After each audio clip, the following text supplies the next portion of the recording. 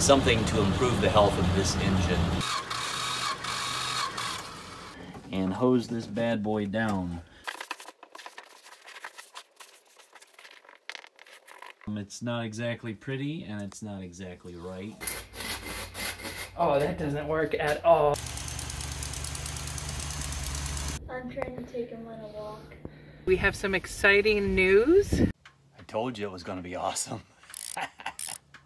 Welcome back to Retro Revivals. Hope you guys saw the first couple of videos where we brought the RV home and we started the demolition. So, this coming week in Michigan, it is going to be cold and rainy. We have a few projects that we can do indoors to help get us further along. I plan to pressure wash the engine in the camper. I also uh, have some gaskets I want to replace, and I would like to paint the valve covers and the top of the motor. So, I've got my work cut out for me. Christy, what do you have? Yeah, so when we were doing the demo, we pulled the front seats out of the RV, um, the oven, the vent hood. So I'm going to work on seeing if those things still work, if, if they can be cleaned up and reused when we put the uh, camper back together. We have some ideas of some modern updates that we'd like to do when we end up reconstructing. Uh, but we do also want to keep a lot of these retro elements um, and pieces if we can. So as much as we can reuse, we're going to try to put back into use. All right, I'm back out in the garage today. Hopefully tackle these seats, see if we can get those cleaned up. The plan is going to be to actually spray them down and soak the material with vinegar. And then as that's drying, kind of sprinkle it with baking soda. And hopefully any odors that are left in here will be pulled out as that dries.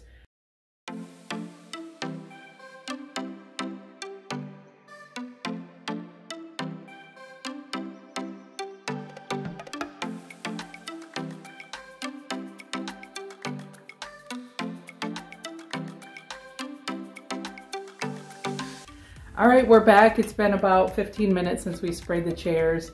And the next step is to sprinkle with baking soda. Um, I had my helper here. And the site that I was looking at that was talking about how to deodorize upholstered furniture um, actually said you don't have to use a sifter or anything like that. But I thought that sounded more fun and might do a more even coat. So um, we have this. It was actually some previous owners left it in the house we used to have. So we've had this cute little sifter ever since. So we're gonna go ahead and give it a shot. Ready? Put in Oh shoot, that doesn't work. Oh, that doesn't work at all. All right, so the sifter idea the, the mesh is too big. The baking soda just runs right through. So we're not gonna use the sifter. All right, so we need to just um, sprinkle it. You wanna sprinkle? Yes.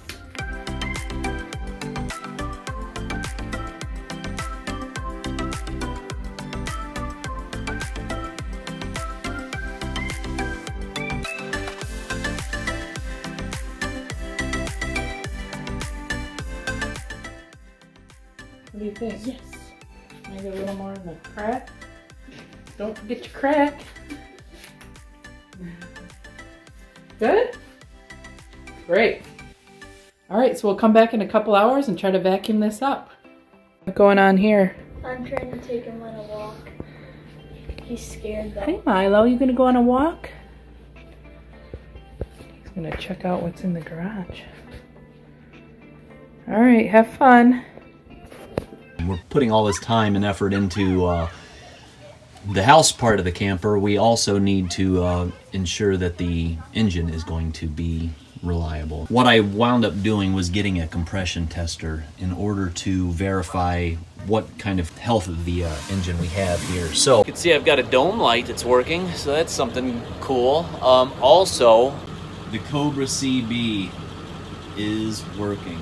So anyway, we're going to go with, uh, ahead with this compression test, and we'll see what we find out.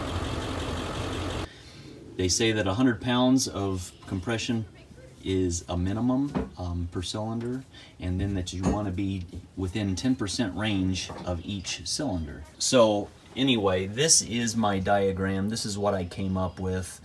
As far as pressure, you can see four and six over there at 70 and 90 respectively are down. Um, I'm going to put the pressure tester back on there real quick and I'm going to crank it over. I'll show you how slowly it's cranking and then I will re-verify that it is the same pressures and then we'll go from there. Okay, so wide open throttle, cranking.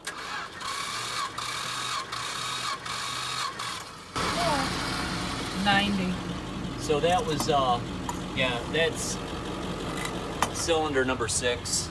Um, I was getting 90 before, I'm getting 90 now. I'm gonna move it over to uh, cylinder number four. I was getting 70, and we'll just re-verify that uh, it's doing the same thing again.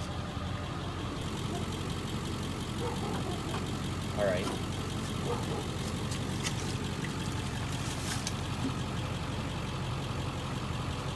There's your tester. All right, so this is cylinder number four. Throttle's wide open, cranking.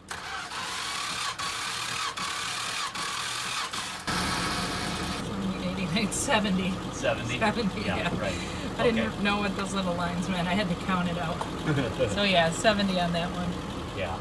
I don't know exactly where to go with my two cylinders. Maybe it needs a valve job.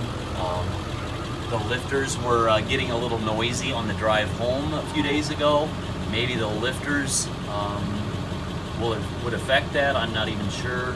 Um, so anyway, I am trying to consider my options here, but I do believe that I need to do something to improve the health of this engine.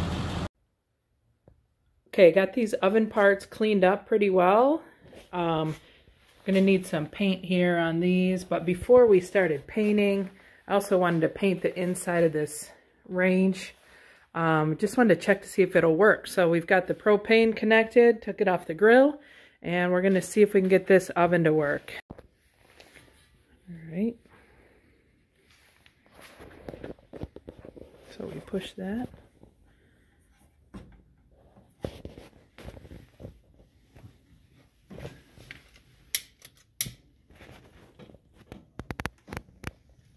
Come on, baby.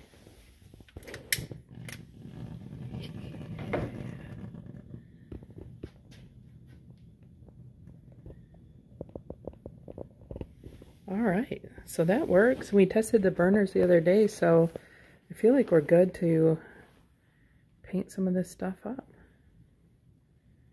Probably should try to bake something. Oh, of course. Apple pie.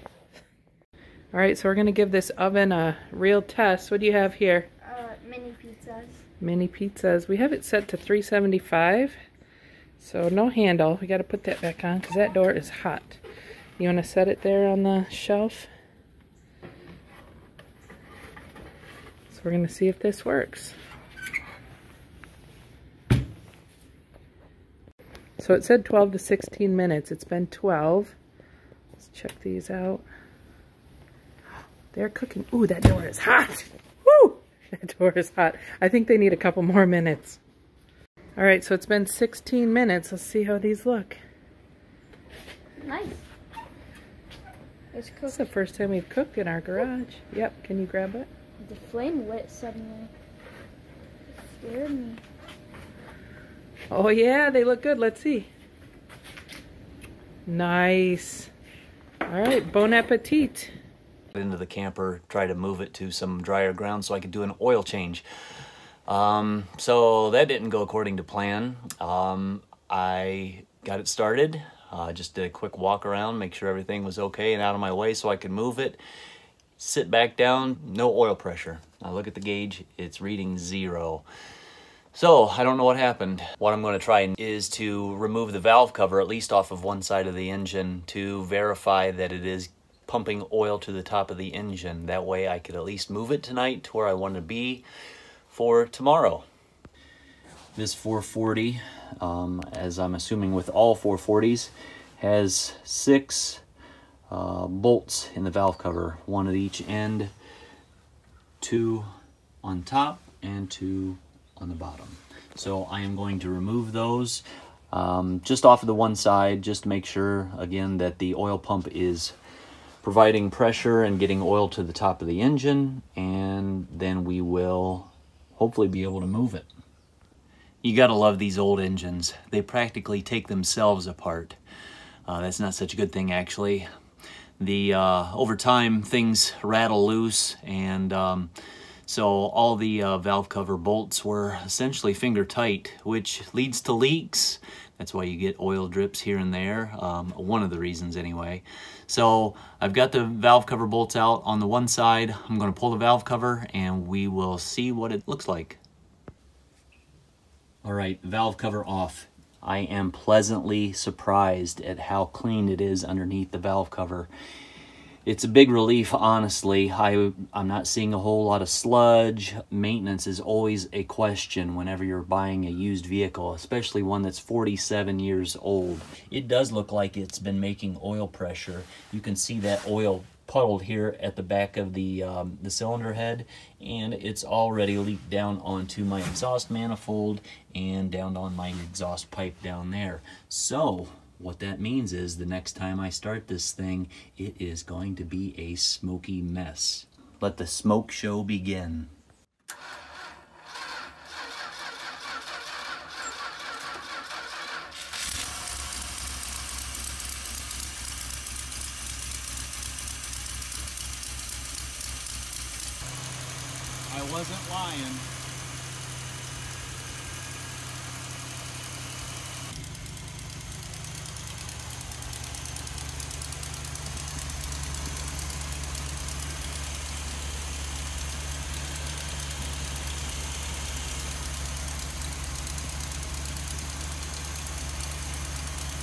Told you it was going to be awesome.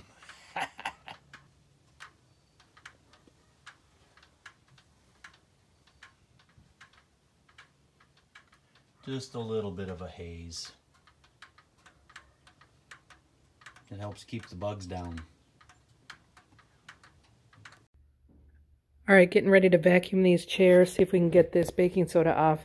One of the things I noticed is on this chair, I think was the passenger seat. There is just a ton of cat hair. I don't know if you can see it, but um, I'm going to vacuum it and then hit it with one of these things. See if I can get that hair off.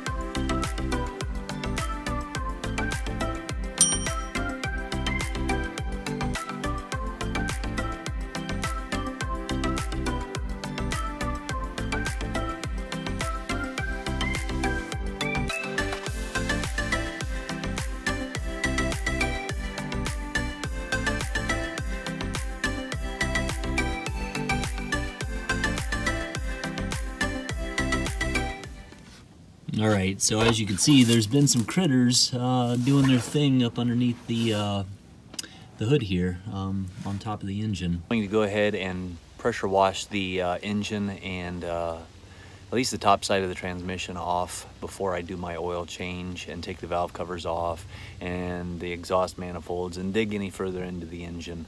Kind of want a clean surface to start with or at least as clean as uh, reasonably possible. We're sitting inside the camper. Uh, underneath the doghouse here is the rest of the engine. What we will wind up doing is putting plastic over top of the carburetor here. That way we don't get water down there. And then for the most part, I'm just going to put plastic around the outside edge here and kind of up over the dash.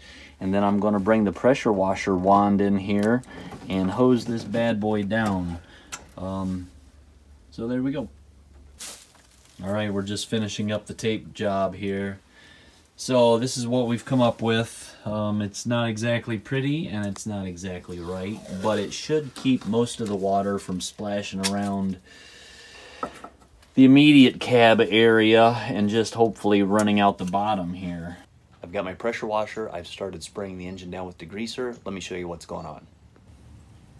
Keeping this plastic on stuff will keep the water from getting into the motor or the, uh, the electrical components, which can um, be a big problem when you go to restart the camper.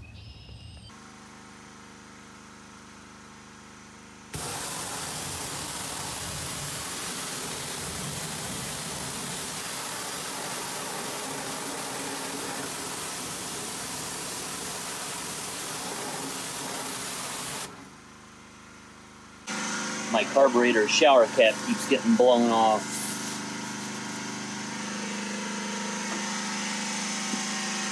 You can see it's made a big difference. Um, I actually uh, started pressure washing a little earlier and didn't realize that I had missed it in the record button. So um, a lot of that grease and grime is gone. The uh, what is left there is just exposed uh, metal and a little bit of paint. The plastic caught most of it, but uh, there's quite a bit of pressure coming out of that washer. All right, so you'll never guess, but it's raining again. Um, we had decided we weren't going to buy an RV to do a project until we had a barn or a, a large garage to work in, but um, we don't have that and we couldn't pass up on this deal, so here we are.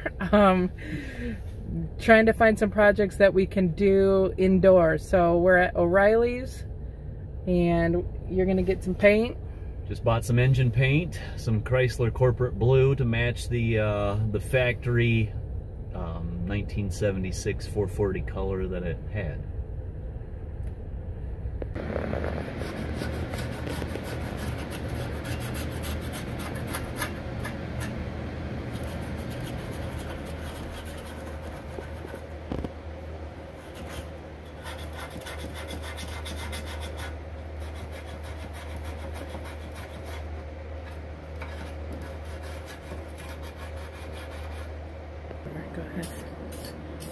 Wow.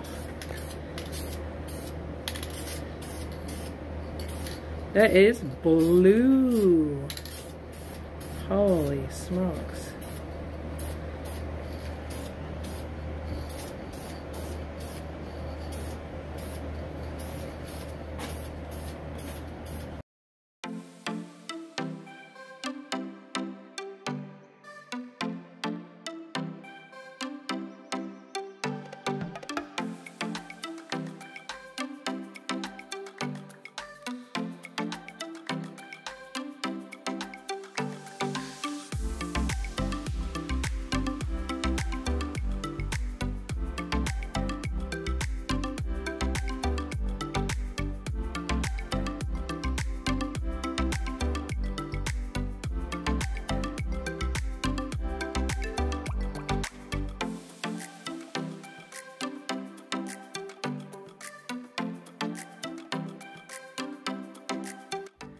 Got the oven all cleaned up.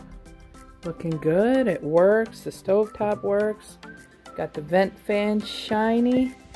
To get a new one of these things, but we'll be good to go there. And then these seats are looking good. They even smell good. Ready to go back in the camper.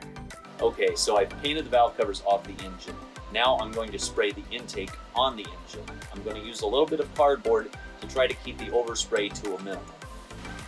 All right, so as I'm doing this, I'm not too worried about the hoses. Um, I'm going to be replacing those, so I just want to try to get my paint in here.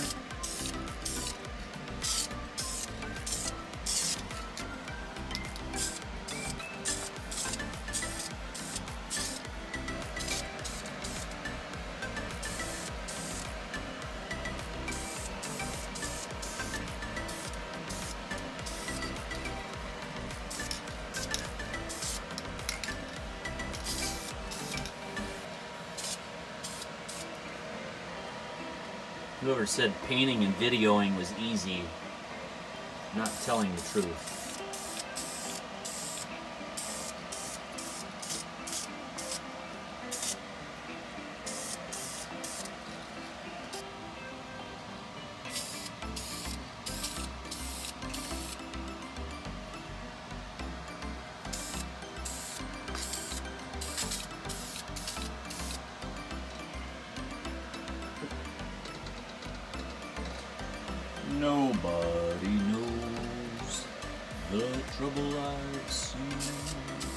All it turned out pretty good.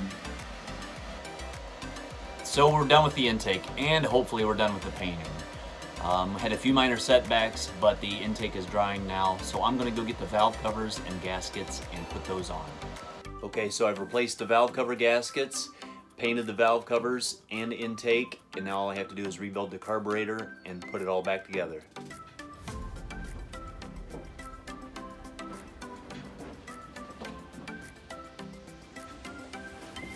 All right, we're back. We had some pretty torrential downpours today, but the forecast for the next few days looks good.